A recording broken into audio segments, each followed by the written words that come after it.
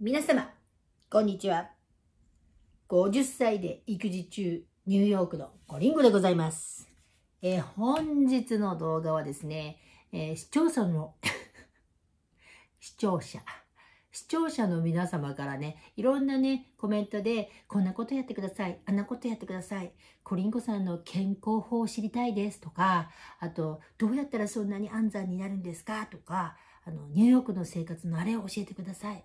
これを教えてください。こんなことを動画にしてくださいっていうコメントたくさんいただいてすごいありがたい。皆さんコンテンツのあの協力ありがとうございます。今日はね、その中でね、えーそのリクエスト、リクエストにお答えして、すごいリクエスト来ました。ぜひともアメリカの出産費用を教えてくださいということだったのでね、現実にね、えーぶっちゃけようと思いますよ。えっとですね、日本はまだあの出産費用って保険対応じゃないんですかね。だからあの助成金とかそういうので賄われていると聞いたんですけれども、アメリカは保険適用なんですね。あの、出産はね。なんで日本が保険対応してないのかなってびっくりしたくらいなんですけど、あの、本当出産って命がけで病院で行ってみたいな形なので、あの、健康保険使えていいんじゃないのかなと思うんですけど、ちょっとまあそこはわからないんですけどね、日本が保険対応になってるかなってないか、まあ助成金だ。まあアメリカは出産費用は保険で賄われるんですけれども、あ、よかったなんて言ってる場合じゃないんですよ。アメリカの医療費はもうバカ高いので、保険あってもええー、みたいな状況なんですね。でですね、私の、えー出産、去年のね、2023年10月28日に無事息子ちゃんの方出産しまして、す、べ、ての請求書が届きましたので、お伝えしておこうかと思います。恐ろしいです。まずですね、アメリカの保険に関してなんですけれども、アメリカの保険って日本の保険、健康保険のように、あの、国民保険、社会保険っていうふうに2つに分かれてるわけではなくて、アメリカは民間の保険を自分で買うもしくはあの会社が提供してくれるかっていうような形で、まあね、その保険料もバカ高い。えーっとね、でピン、ピンキリなんですね、保険の、持ってる保険のレベルがピンキリなんですね。もうものすごいいい保険を持ってると、もうすべて医療費ただ。全部保険が賄ってくれて、ほとんど自分で持ち出しなしみたいな。まあだけどね、そんないい保険じゃなくてね、しょぼい保険ですと、なんか保険持ってるのに、え、こんなに払わなきゃいけないの？みたいな感じなんです。んで、またこの保険料がバカ高いから、あの、いい保険を持ちたくても持てないんですね。だったらみんなでね、あの、いい保険かけた方がいいじゃないかって言うんですけど、保険料がむちゃくちゃ高いんです。えっ、と、私は今産休中なんですけれども、一応まだ健康保険、会社の方から出ていて、えっとね、いつもうちのボスがね、こんなに保険料が高い高いって愚痴を言ってるんですけれども、えっとね、今ね、私の保険900ドルぐらいだって。900ドルって年間じゃないよ。あの、月900ドル。もうどういうことって感じでしょ。月ですよ。900ドルって今いくらぐらいやねんって。だから、10万円超える、超えちゃうんじゃないの？月ね。月の、だから本当にそのくらいかかるわけです。高いわけですよ。そんなに月の掛け金がそんなに高いのに大した保険じゃないと。だから、いい保険ってもうめちゃくちゃ掛け金が高いんだと思うんですね。でも、いい掛け金が高くてもいい保険に入っておくといざという時に何かあった時にねあの全部保険が賄ってくれる。だからそのくらい医療費が高いってことなんですよ。ででなので私のこの保険であの私の出産費用がこのくらいでしたって言ってもああそのくらいなんだっていう目安にしないでくださいね。その自分が持っている保険によって出産費用が全くかからなかったっていう人もいれば私みたいにものすごい出産費用がかかったという人も出てくるので参考にはなりません。ああそうなんだって。まあじゃあアメリカはそういう人もいるのねみたいな感覚で聞いていただければいいと思うんですけどじゃあ私の保険まあランクは低めのかなり低いランクです。あのまずね年間のディダクタブルっていうのがあって年間にこれだけは本人が負担しなきゃいけないですよっていう金額金額があるんですけどそれが安ければ安いほど例えば年間のディダクタブル500ドルとかっていうのはすごくいいんですよ。500ドル自分が払ったらもうそれ以降は保険が払ってくれるっていう形で。私のディダクタブル3000ドル。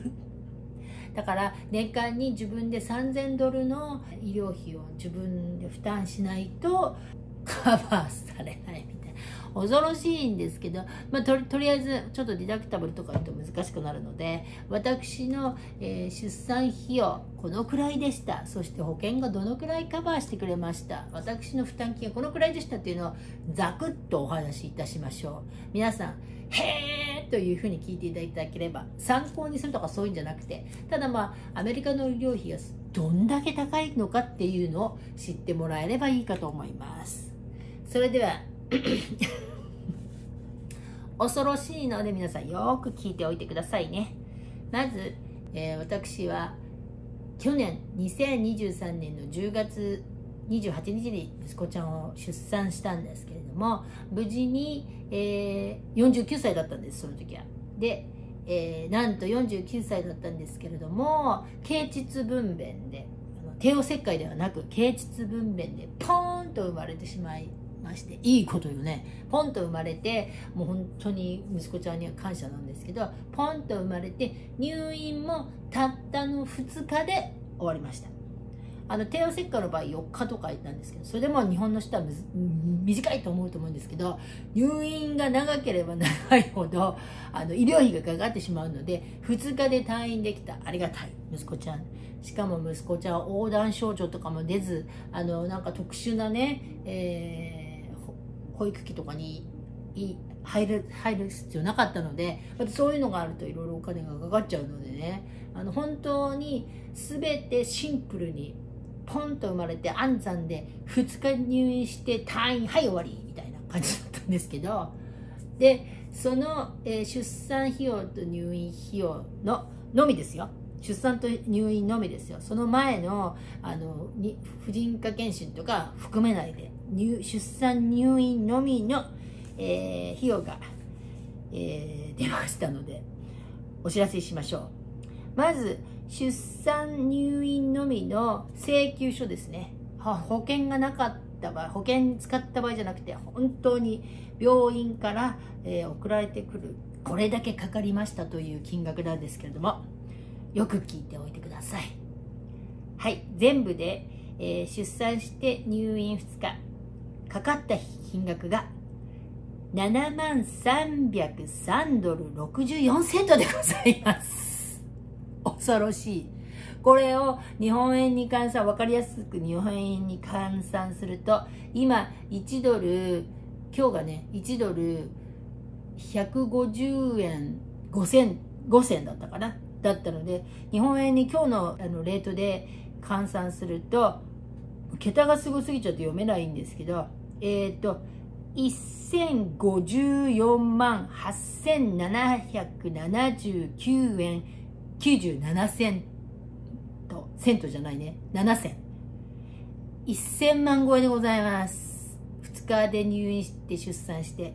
1000もう一回言っちゃいますよ。1054万8779円97銭でございます。そんな出産して、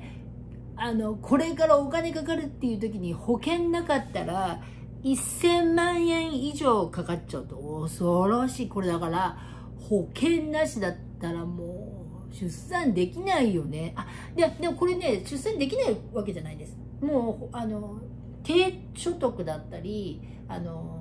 保険がない人っていうのはあのそういうなんていうのかな低所得者っていうのでメディケアメディケイドか。あのそういう低所得者用の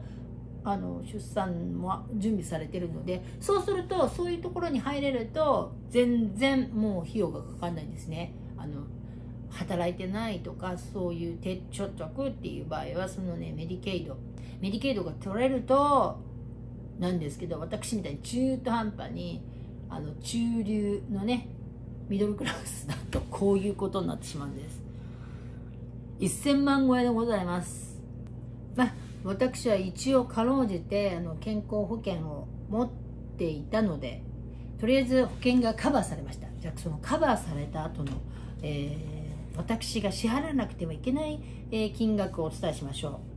えーと、保険がカバーして私が払わなくてはいけない金額が、えーと、5728ドル。7セントですね。だから7万303ドルだったものが5728.07なので、えー、日本円だと私が負担しなきゃいけないのがこれ日本円はね円安なんでね日本円びっくりしちゃうんですけどえー、っと86万974円。86万かよみたいな。86万974円。どうです？これ私があのすごいランクの下の保険なのでもしかしたらあの1000万円以上かかっていた1000万円以上かかるあの出産入院費用なんですけれども保険がカバーされて86万。974円になってるわけですけど私の保険がもしすごい仮にいいものだったらねあの毎月の掛け金が高くていいものだったらもしかしたら負担金ないっていう負担金ゼロっていうこともあるのでこう考えるといい保険持っていたいなと思うんですけどいい保険を持っていると毎月の掛け金が高くなるということで私は会社から支給されてるので保険料を払ってないのであの会社側が保険料を払ってくれてるのでそれはラッキーなんでそれでもあのまあだから会社側はそんな全額払ってくれてるから保険の毎月ねそんないい保険は出せないんじゃないでしょうか。出せないわけで、えー、まあその保険があったから86万974円で済んだと。恐ろしいですよアメリカはね。まあとりあえずねあのあの出産、出産と入院のみは1000万超えだったんですけど、じゃあこれが、妊娠が発覚して、あの産婦人科の方、あの、に行った後、どのくらい全部でかかったのかも計算しましたので、えー、私の妊娠が、あの、発覚者も発覚っていうかね、不妊治療をして、不妊治療クリニック、不妊治療の、これもまたすごい高かったの。これはまた別でね、とんでもない金額、もう保険効かなかったので、とんでもない金額を払ってきたわけですけど、晴れて不妊クリ治療クリニックを卒業して、えー、3月31日に卒業したんですけど、4月から、えー、産婦人科に移行したんですけど、4月からの、去年のね、2023年の4月から婦人科の方に、ええー起きましたね、息子ね。えっと、4月からのトータル、4月で婦人科検診に行って、出生診断をして、あの、アナトミースキャンとかしたり、もう、あの、毎月、毎月ね。で、あの、出産前、10月ぐらいになって出産前、1ヶ月前くらいはもう毎週毎週、あの、産婦人科の先生に会って、で、あの、いろんな、エコー検診とかやった全部のあの検診を含めて検診と出産費用すべて合わせた4月から10月末までの私のこの出産費用、出産と入院と検査と検診とすべて含めた、え、合計金額が 8万1319ドル18セント。これを日本円に直しますと1220万1617円68銭になります。ああ、1200万以上かかっちゃったということですね。1200万。で、これを保険がカバーしたのが7837ドル39セント全部でね、あの、かかったんですけど、それを円に直すと117万5969円2銭。100万超えですよ。これ全部ね、あのトータル。妊娠してから出産までの金額が117万円超え。ということでございます。これ、これ負担金だからね、あの自分のね。これ保険がなかったら1220万超えですからね。どうでしょうか？アメリカの恐ろしき医療費でございました。怖いね。これから医療費だけじゃなくて、あの、学費とかも高いからね、バカになんないよ。まずもうぶち当たったのが、えっと、保育料ですからね。もう前の動画でも言いましたけど、保育料、え月、えー、30万円超え。もう、あの、2、3000ドルということで、45万ぐらいなのかしら。そう、それもう生まれてね、あの赤ちゃんの保育料がそうなんですけど、ここからずっとね、あの大学なんか行くようになっちゃったら恐ろしいですよね。まあ、でもね、そういうのは分かっていて、それでも妊娠したい。それでも妊娠する価値があったと。よくね、こういう愚痴を言うとね、そんな不妊治療する前から分かってたのに自分がそこまでしてやりたかったのにとかっていうね、コメントが来るんですけれどもね、もちろん分かっていた。ね分かっていたよね。それでもこんだけお金かかって大変だなって言うんですけど、それでも私は幸せでございます。やっと授かったベイビーね。あの、お金のことは、金は天下の回り物とか、まあそんな軽く言っちゃいけないんですけれども、お金をね、あの、真剣に向き合いつつ、あ、それでもね、あの、プライスレスですよね。あの、妊娠して出産して子供を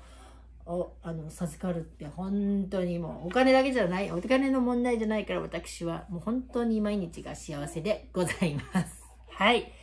ということでね、一応皆様、日本の皆様、びっくり仰天だと思うんですけれども、リクエストにありました通りに、アメリカの医療費の、えー、動画出してみました。ご参考、参考する必要はないんですけれども、ええー、そうなんだ、なんて思ってもらえれば、えー、いいかなと思います。それでは、本日はこの辺で失礼いたします。また次回の動画でお会いしましょう。またね